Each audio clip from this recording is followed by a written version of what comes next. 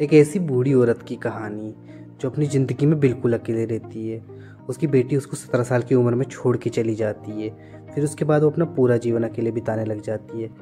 फिर उसकी लाइफ बदलती है और उसकी लाइफ में एक बच्चा आता है, जो उसकी बेटी का लड़का होता है। चलिए स्टोरी पे आते हैं। मूवी के स्टार्ट होते ही हमें उस बूढ़ी औरत की बेटी को दिखाया जाता है, जो अब बत्तीस साल की हो चुकी होती है। फिर हमें उसके बेटे को भी दिखाया जाता है, जो सात साल का होता है और उसका नाम होता है सांगू। तभी सांगू अपनी माँ से पूछता है कि माँ, दादी माँ कैसी है? वो रहती है, काम कर लेती है सब कुछ। तभी उसकी माँ कुछ सोचती है, क्योंकि अब वो भी पंद्रह साल बाद अपने घर जा रही होती है तो उन्हें भी नहीं पता होता कि वो किस हालत में होगी। तभी हमें दिखाया जाता है कि बस में कुछ लोग मुर्गी के बच्चे के साथ खेल रहे होते हैं तो वो उसे खुला छोड़ देते हैं। तो वो उन दोनों के ऊपर आ गिरता है और उनके कपड़े गंदे कर देता है। इससे सांगू बहुत परेशान हो जाता है और वो अपनी माँ से बोलता है कि, माँ, यहाँ पे बहुत धूल मिट्टी और यहाँ पे बहुत गंदगी है, हमें वापस चलना चाहिए। और उसकी माँ कुछ नहीं सुनती। हम की माँ उसे डांटते हुए अपनी नानी के घर ले जाने लग जाती है। जब वो वक्त पहुँचते हैं तो देखते हैं कि उनकी बाप बहुत बूढ़ी हो चुकी है।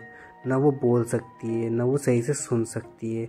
तो उसी बात पर उनकी बेटी उनसे माफ़ी मांगने लग जाती है और उनसे बोलती है कि अब मेरा तलाक हो चुका है और मेरे पास कोई जो जॉब था, मेरी शॉप थी, वो भी अब बंद हो चुकी है।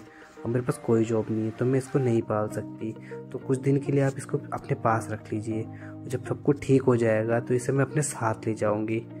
आपको कोई तकलीफ़ तो नहीं होगी इस चीज़ से? तो उसकी माँ कुछ समझ सुन तो नहीं पाती, पर वो समझ जाती है। और फिर उसकी माँ से बोलती है कि मुझे अभी जाना होगा, आप इसका ध्यान रख लेना। और वो उसकी माँ बोलती है तुम आज रात यहीं रुक जाओ और यहीं पे आराम करने के बाद चली जाना।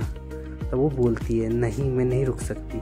मुझे वहाँ कैसे भी पहुँचना होगा और अपने लिए नई जॉब ढूंढनी होगी ताकि मैं जल्दी से जल्दी सेट हो सकूँ और फिर अपने बच्चे को वापस ले जा सकूँ। अगले ही पल उस शहर की बस पकड़ती है और वहाँ से चली जाती है। फिर हमें शांगू को दिखाया जाता है। जब उसकी नानी उसको साथ में ले जाने के लिए बोलती है तो अपनी नानी को चिढ़ाने लग जाता है। फिर हमें उनके घर का सीन दिखाया जाता है। यहाँ पे उसकी माँ उसके लिए कुछ खाने के लिए रखी गई होती है और कुछ खिलौने रखी गई होती है। और उसकी नानी उसे जब ले जाने लग जाती है तो वो काफ़ी लड़ाई करने लग जाता है और अपनी नानी को चिढ़ाने भी लग जाता है और बोलता है कि आप तो गूँगे और बहरी हो, पर उसकी नानी उसको एक इशारा करती है पेट ही पेट पे पर वो कुछ नहीं समझ पाता। उसकी नानी उसको छोड़ के फिर अपने घर चली जाती है। सांकू भी अपनी नानी के पीछे पीछे आ रहा होता है, पर जब उसकी नानी पलट के देखती है तो वो बहाने मारने लग जाता है, वो ऐसा दिखाने लग जाता है कि वो पीछे पीछे नहीं आ रहा, पर उसकी नानी बुलाती है, तब वो नहीं आता। फिर हमें रात का सीन दिखाया जाता है, जहाँ पे वो खाना खा रहे होते हैं। तो उसकी नानी अपने हिस्से का खाना भी उसे खिला देती है।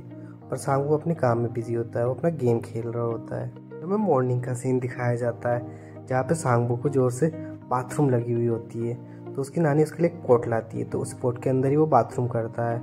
फिर उसकी नानी उस पोट को धोती भी है और हमें उसे काम करते हुए भी दिखाया जाता है कि वो बड़ी बड़ी बाल्टियाँ लेके पानी भर के लाती है। फिर हमें उन्हें अकेले बैठे हुए दिखाया जाता है, जो अपनी लाइफ के बारे में सोच रही होती है। उन्होंने सब कुछ जी लिया है अपनी लाइफ में। तभी ना उसकी नानी, एक लड़के को अपने घर पे लेके आती है। पर वो उस पर बिल्कुल भी ध्यान नहीं देता। वो अपने अकेले गेम में बिज़ी रहता है और अपनी मस्ती में मस्त रहता है। उसकी नानी उसे कुछ नहीं बोलती, बस वो उसे देखते रहती है। फिर हमें दिखाया जाता है एक दिन सबकी से परेशान होकर सांगू गाँव में निकल जाता है खेलने के लिए, पर उसे अपने साथ खेलने के लिए कोई नहीं मिलता। तो वो थकार के वापस घर को आ जाता है। फिर वो अपने वीडियो गेम में लग जाता है। तब वो अपनी नानी के पास बैठा होता है तो उसकी नानी बार बार सुई में उससे धागा डलवाती है। तो जब भी खेलने लगता है तो उसकी नानी बार बार उससे सुई में धागा डलवाते रहती है। तो इस चीज़ से वो बहुत परेशान हो जाता है। फिर जब वो वीडियो गेम खेल रहा होता है तो उसके सेल्स ख़त्म हो जाते हैं। तो वो अपनी नानी से पैसे मांगने लग जाता है। तो उसकी नानी के पास इतने पैसे नहीं होते कि वो उसको सेल दिलवा सके, क्योंकि उन्होंने अपनी ज़िंदगी पूरी गरीबी में बिताई होती है। तो उनके पास ज़्यादा पैसे सेव नहीं रहते और ना उनके घर में कोई कमाने वाला होता है। वो नानी से बोलता है कि आप मुझे पैसे दे दो, मैं अपनी मोम से आपको पैसे दिलवा दूँगा। और उनकी नानी वापस पेट पे इशारा करती है। वो इस बात को नहीं समझ पाता। फिर वो अपनी नानी को धक्का दे के वहाँ से चला जाता है। और फिर सांगू घर पे आ जाता है और वो बहुत गुस्सा करने लग जाता है। और गुस्से गुस्से में वो अपनी नानी की चप्पलों को भी छुपा देता है। तो उसकी नानी बहुत परेशान होते हुए पानी लाती है नंगे पैर तो उनको बहुत दर्द होता है। और बहुत मुश्किल से वो उसका पॉट भी धो के लाती है। और सांगू उसे भी गुस्से गुस्से में तोड़ देता है। और अपनी नानी को देखने लग जाता है। फिर वो अपनी नानी की हेयर पिन को देखता है तो वो उसे निकाल के चुपचाप से भाग जाता है। वो गाँव में दुकान ढूँढने के लिए निकल जाता है। फिर पूछते पूछते वो एक दुकान पर पहुँचता है तो वो सेल देखने लग जाता है। तो तो उसे अपने वीडियो गेम के लिए सेल्स नहीं मिलते, क्योंकि इसमें छोटी साइज़ वाले सेल डलते थे। तो दुकान वाले के पास होते नहीं है। दुकान वाला उसे बताता है कि, आगे एक और दुकान है, तुम वहाँ जाके पूछ सकते हो। तो उसे वहाँ भी सेल नहीं मिलते। फिर वो एक जगह जाके बोलता है कि शायद मुझे कुछ और ही खा लेना चाहिए और वहाँ जाके वो हेयर पिन देता है। तो वो दुकान वाला उससे मना कर देता है कि इस हेयर पिन की कोई वैल्यू नहीं है उसे मार के वहाँ से भगा देता है और वो अपने गाँव से बहुत दूर आ चुका होता है। तो उसे अपने घर जाने का रास्ता नहीं मिल रहा होता है। तभी रास्ते में उसे एक आदमी मिलता है। तो उसे अपनी साइकिल पर बिठाता है और उसे अपने गाँव ले जाने लग जाता है और अपने गाँव के पास ले जाके उसे छोड़ देता है। तभी देखता है कि रास्ते में उसे, उसकी नानी दिख जाती है। वो नानी पर वो अपनी नानी को इग्नोर करके वहीं खड़ा रहता है। फिर उसकी नानी उसको बुलाती है और अपने साथ चलने के लिए बोलती है। तो वो पीछे पीछे अपनी नानी के चलने लग जाता है। और फिर बाद में जब उसकी नानी कपड़े सुखा रही होती है, सुखाने के बाद वो अंदर घर की चली जाती है। तभी अचानक से बारिश आ जाती है। तो सांगू पहले कुछ सोचता है, फिर सारे कपड़े उतारने लग जाता है। और फिर सुखा, उतारने के बाद दोबारा जब बारिश बंद होती है तो वो सारे कपड़े बाहर सुखा देता है। पर अपने कपड़ों पर डबल पिन लगाता है और अपनी नानी के कपड़ों में पिन नहीं लगाता। फिर वो कुछ सोचता है, फिर वापस जाता है और अपनी नानी के कपड़ों पे भी एक एक पिन लगा देता है क्योंकि उसकी नानी के पास और कोई कपड़े नहीं होते। फिर थोड़ी देर बाद जब उसकी नानी आती है, तब वो सो रहा होता है तो उसकी नानी के आने के बाद वो उठ जाता है। फिर उसकी नानी उसे इशारों इशारों में पूछती है कि तुम्हें क्या खाना है बेटा, मुझे बताओ। तो एक वो टैंपलेट लेता है, वो उसमें सब फ़ोटो दिखाने लग जाता है पिज़्ज़ा बर्गर मांगने लग जाता है। और उसकी नानी कुछ नहीं समझ पाती। फिर वो अपनी नानी से बोलता है कि मुझे चिकन खाना है, फ्राई चिकन खाना है। तो उसकी नानी वहाँ से चली जाती। जब नानी घर वापस आ रही होती, तब बहुत ज़ोर से बरसात आने लग जाती है। वो पूरी की पूरी भीग जाती है और उन्हें ठंड भी लग रही होती है। फिर घर पहुँच के खाना बनाने लग जाती है सांगू के लिए। फिर सांगू उठा के खाना खिलाने लग जाती है। तो सांगू उस खाने को देखने के बाद बहुत नाटक करने लग जाता है, क्योंकि ये फ्राई चिकन नहीं होता, ये उगला हुआ चिकन होता है। और गुस्से गुस्से में वापस सो जाता है। फिर उसकी नानी भी उसको ऐसा देख के, वो भी सो जाती है और शाम को रात को भूख लगने लग जाती है। तो वो उठता है और वापस उस फ्राई चिकन को चाव से खाने लग जाता है। खाते खाते उसकी नज़र अपनी नानी पे जाती है। तो उसकी नानी काँप रही होती है ठंड से और फिर अपनी नानी के पास जाके देखता है। तो उनको काफ़ी तेज़ बुखार आ गया होता है। और तभी वो देखता है कि जब ये रात को आई थी तो ये बरसात में भीग गई थी। तो शायद इसके लिए इनको बुखार आ गया। और फिर उनके अपनी नानी के सिर के ऊपर एक पट्टी रख देता है और उनको गर्म करके खाना भी खिलाने लग जाता है और उसकी नानी भी खाने लग जाती है। फिर वो अपनी नानी के सिर में वो चम्मच देखता है तो चम्मच को हटा के वापस हेयर पिन लगा देता है। अब वो नानी के बारे में काफ़ी सोचने लग जाता है। फिर एक दिन वो जंगलों में जा रहा होता है तो खेत में उसे एक लड़की दिखाई देती है जो घर घर खेल रही होती है। तो उसे वो लड़की काफ़ी पसंद आ चुकी होती है। फिर सांगू और उसकी नानी कद्दू बेचने के लिए शहर जा रहे होते हैं और सड़क पर जाके वो बस का वेट करने लग जाते। हैं काफ़ी देर बस का वेट करने के बाद भी बस वहाँ नहीं आती। तो वो पैदल ही शहर के लिए निकल जाते हैं और वहाँ जाने के बाद वो कद्दू बेचने लग जाते हैं और उससे थोड़े बहुत पैसे कमाने लग जाते। हैं और सांगू अपनी नानी को कद्दू बेचते हुए देख रहा होता है कि वो बहुत मेहनत कर रही है इस उम्र में भी और अपने पेट पालने के लिए वो क्या क्या करती है। फिर एक नई शॉप पे जाते हैं। वहाँ पे जाके वो उसे नए शूज़ दिलाती है, फिर अच्छे से रेस्टोरेंट में ले जाती है, उसे अच्छा अच्छा खाना खिलाती है और पैसे बचाने के लिए खुद बस पानी ही पी रही होती है और सारे पैसे देने के बाद वो एक दुकान पे जाती है जहाँ पे बैटरीज होती है। और सांगू को पता होता है कि अब उनके पास पैसे नहीं है तो कुछ जिद नहीं करता। और फिर अपने घर जाने की बस ढूँढने लग जाते हैं, पर उन्हें बस नहीं मिल रही होती। तभी एक ड्राइवर बोलता है कि आज हम जाएँगे। तो वो जाके बस में बैठ जाते हैं तो ड्राइवर उन्हें बताता है कि आपके फ्रेंड की तबीयत बहुत ख़राब है, आपके उनसे जाके मिल लेना चाहिए एक बार। जाते जाते सांगू की नानी उससे पूछती कि तुम्हारे लिए कुछ लाना है क्या? तो वो तभी इशारा करता है, एक बच्चा चौकोबार खा रहा होता है। उसकी नानी कुछ समझती तो है नहीं। तो वो वहाँ जाके उसकी पॉलीथीन उठा लेती, ताकि उन्हें पता हो कि उन्हें क्या लाना है। और वो वहाँ से निकल जाती है अपनी फ्रेंड के घर पे और उससे जाके मिल जाती है। उससे बोलती है कि तुम एक और बार मेरे से मिल जाना, पता नहीं अगली बार हम में से कौन ज़िंदा रहे और कौन ना रहे। और उन्हें जाके वो पॉलीथीन दिखाती है। तो उसमें छः चौकोबार पैक कर देती है उनके लिए। तब वो पैसे देने लग जाती है तो पैसे लेने से मना कर देती है। और वो भी मानती नहीं है, उन्हें कद्दू देती है और वहाँ से निकल जाती है।